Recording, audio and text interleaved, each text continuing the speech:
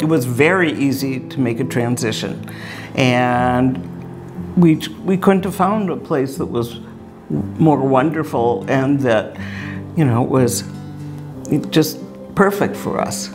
Audrey was feeling the, the pinch of not having family around her. And uh, we came from a kosher home, and the fact that this place is kosher really meant a lot to me. And the fact that we have two sons, three granddaughters, three, three grandchildren uh, right here in the community, uh, that was a, a, a, big incentive too. Uh, we, we heard a lot about uh, this place because of residents that have been here and that are here and that were here when we came. And uh, it, it motivated us to look into it. Yeah, and we are delighted that we did. Absolutely. We came here, we were just thrilled. and we've just, it's only grown since then. We just love it here.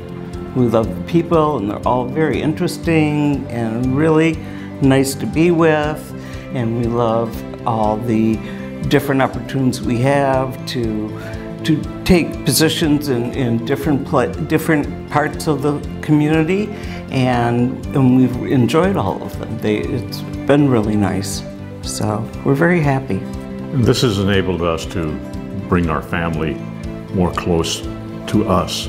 Uh, we were able to go this morning to Grandparents' Day at That's my right. Mm -hmm. granddaughter's school. school. And uh, last Friday night we had Shabbos dinner in our apartment. And we had not only our kids and our grandkids, but her brother came in from San Diego and stayed yes. with us a night.